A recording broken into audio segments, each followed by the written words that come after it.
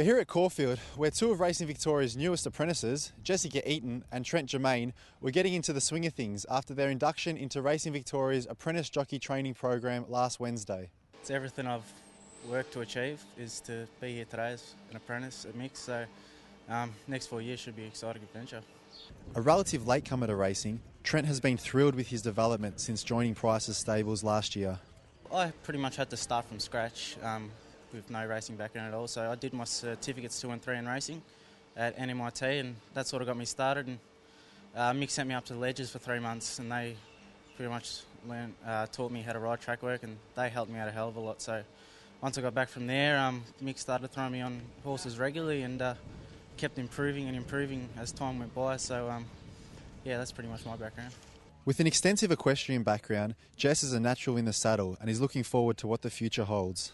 Basically, started off with learning how to ride at a riding school, then got my own horse, and then through that started competing and eventing. And you know, you're in two point position with that, so you got the general balance there, and you're learning how to jump, so you get confidence through that. So, handling different horses.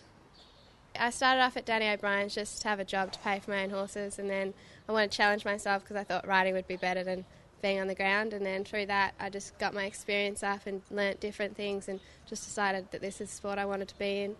Different thrills. While trainer Mick Price has been taken with their ability in the saddle, he's also been impressed to their attitude to life around the stables. I got a big opinion of them mainly as human beings first. I mean, uh, you know, you like to. Uh, in life in general, you know, uh, be uh, involved with decent people. Um, I probably don't put up with people that don't um, maintain a certain standard in their integrity. Uh, these kids, I'm not 100% sure of their family background, but uh, I think it would be pretty good. Uh, they're good to work with. They're reliable, and that's what we need to work with. And you know that's what they need in um, a business sense and a sporting sense. That's they're the people that make it, aren't they? But um, really happy with them. They're both up and trialling and they're both really good people and they're both going well.